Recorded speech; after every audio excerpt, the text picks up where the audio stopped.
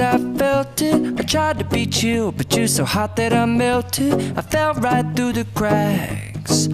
Now I'm trying to get back. Before the cool done run out, I'll be giving it my bestest, and nothing's gonna stop me but divine intervention. I reckon it's again my turn to win some or learn some, but I won't hesitate no more, no more. It cannot wait. I'm yours. Mm-hmm. Xin chào các bạn, chào mừng các bạn đã đến với video review của xe điện Việt Thanh Và ngày hôm nay chúng tôi sẽ giới thiệu đến quý vị và các bạn một dòng xe đang được các bạn trẻ vô cùng yêu thích Đó chính là xe Tayga 50cc Diamond đây mình là mẫu xe máy tay ga với thiết kế hiện đại, kiểu dáng trẻ trung, thời trang với dung tích xi lanh 49,5 cm khối, phù hợp với cả những người sử dụng chưa có bằng lái. Ngoại hình xe gọn gàng, cân đối cùng những đường nét thanh thoát giúp xe di chuyển linh hoạt, phù hợp với điều kiện sử dụng ở đường phố đông đúc. Nhiều xe thiết kế mang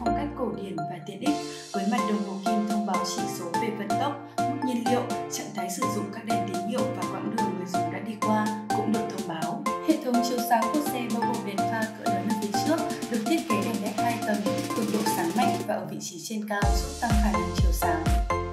Đèn hậu và đèn xi nhan được thiết kế chỉnh gọn vào vỏ xe, vẫn đảm bảo khả năng phát tín hiệu chiếu sáng, đồng thời làm giảm nguy cơ va chạm, vỡ hỏng đèn xi nhan của một số thiết kế của mẫu xe khác.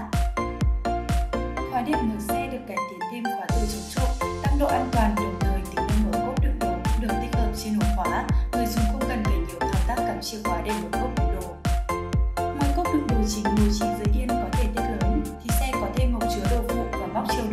chiều trước chỗ ngồi rất tiện dụng.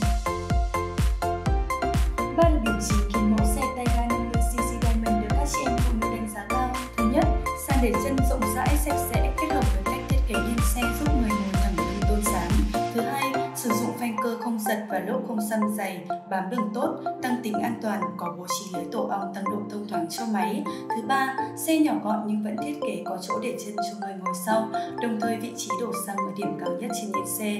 Chị em mặc váy bó hoặc tầm vẫn có thể đứng thẳng lưng thao tác ngoài nắp xăng dễ dàng. Như vậy là đã đủ để các bạn hiểu về thông số của chiếc xe. Còn bây giờ, xin chào và hẹn gặp lại. Chúc các bạn